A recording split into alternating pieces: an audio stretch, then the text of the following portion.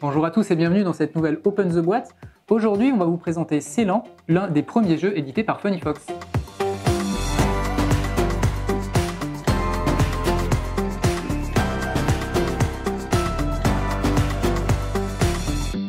Célan, c'est un jeu qui a été réalisé par Suzanne et Chris Zinsley et qui est magnifiquement illustré par Laura Bevon. Dans Célan, vous allez incarner des pionniers de la culture du thé au XIVe siècle au Sri Lanka. On va donc jouer euh, à faire du business pour vendre le maximum de thé. On va cultiver du thé noir, du thé blanc, euh, du thé vert et on va essayer de prospérer. Alors découvrons tout de suite ce qu'il y a dans la boîte.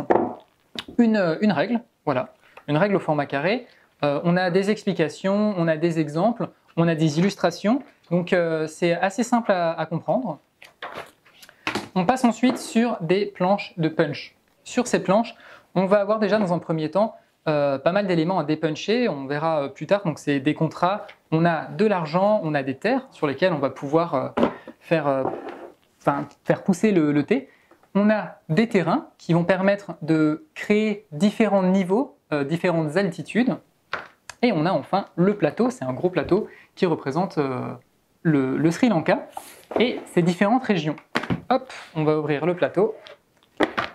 Dans un premier temps, comme je vous l'ai dit, on va avoir différents terrains qu'on va pouvoir placer euh, pour construire en fait le, plateau. Ces terrains vont nous permettre, en escalier, en les superposant, de créer différentes altitudes, puisque les thés que nous allons cultiver pousseront à différentes altitudes. Donc, on va les placer soit selon notre, selon notre choix, ou euh, certaines, euh, dans certaines configurations, on va être amené à les placer d'une certaine manière. Donc, par exemple, on peut voir ici qu'on va créer un niveau 0, un niveau 1 avec la première tuile et un niveau 2 avec la deuxième tuile. Pour euh, vendre du thé, cultiver et vendre du thé, on va pouvoir commercer avec différents commerçants. Par exemple, euh, ici, je vais, je vais essayer de vendre trois thés noirs, trois caisses de thé noir au commerçant numéro 1.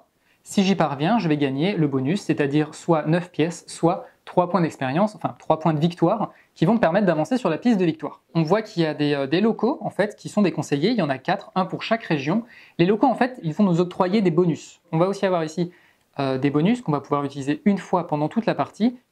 Et on va avoir ici des jetons euh, qui vont nous permettre de rejouer une action gratuite pendant, pendant notre tour. C'est des jetons qu'on va pouvoir acquérir en développant en fait notre capacité à commercer. Ces jetons s'acquériront en augmentant sur cette piste de score. On a ensuite tout simplement des pièces, puisqu'il nous faut forcément une monnaie pour commercer. L'argent est très important dans ce jeu. Donc on a des pièces de 1, on a des pièces de 2, on a des pièces de 5 et on a des pièces de 10. Il me semble que c'est des dirhams. Voilà, hop, et 10. On trouve ensuite euh, les plantations de thé. À chaque fois qu'on va vouloir planter du thé, on va pouvoir poser une plantation de thé. Ces plantations vont être posées simplement comme ceci. La personne qui l'a posé pourra se mettre sur euh, la plantation et y apposer sa couleur. Et on a ici une petite aide euh, pour se souvenir du nombre de contrats qui existent dans le jeu. Et enfin, cette petite théière qui est le jeton euh, du premier joueur. Chaque joueur va disposer d'une couleur. On va avoir par exemple les, les bleus, les jaunes, les magentas et les magentas plus foncés.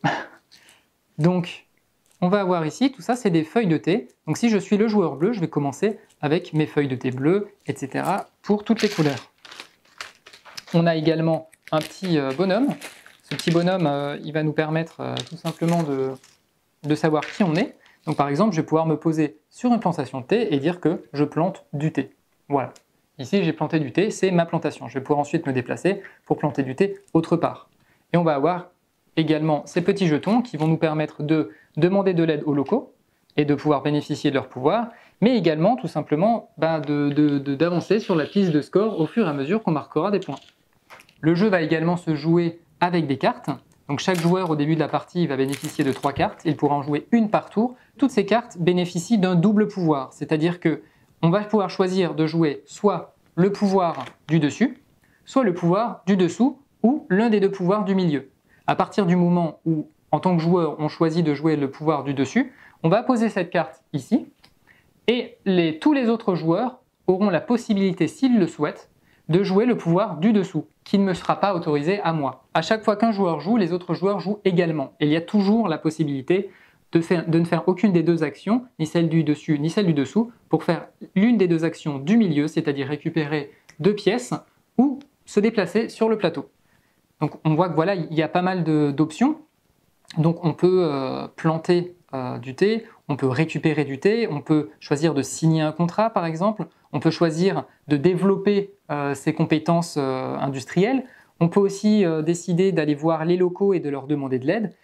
Chaque joueur jouera également avec son propre plateau sur, lequel il pourra mettre les éléments de sa couleur. Ici, on a les plantations de thé qu'il sera susceptible de développer au cours de la partie. Alors pourquoi les mettre sur son plateau en début de partie? Tout simplement parce que chaque slot que vous voyez ici, euh, une fois vidé, lui permettra de passer des contrats. Admettons que je passe ce contrat, que je le réalise, je pourrais mettre mon slot ici, mais ensuite je serai dans l'obligation, et c'est ça qui relance forcément le jeu, de planter quelque part pour pouvoir débloquer un autre slot et continuer à passer des contrats avec les commerçants. On a donc également à cet emplacement-là un endroit pour mettre les évolutions techniques. On a également, si on choisit la variante du jeu, la possibilité de mettre ici le bonus qu'on pourrait utiliser une, seule fois par partie. On a notre petit porte-monnaie, bien sûr, dans lequel euh, on va pouvoir mettre euh, toutes les pièces qu'on récupère. Et, bien sûr, évidemment, le thé, puisque j'ai oublié de vous parler du thé. Le thé qui, en fait, se présente comme ceci, comme des, comme des caisses. Alors tout simplement, au niveau 0, on va faire par exemple du thé noir, au niveau 1, on va faire du thé vert, et au niveau 3, donc euh, en fonction de la hauteur ici, de l'altitude à laquelle seront plantées les plantations, on va faire du thé blanc. Voilà, je crois qu'on a à peu près tout dit sur Célan, le nouveau jeu de Funny Fox. Sur ce, on vous fait des bisous, on vous dit à la prochaine, et puis ciao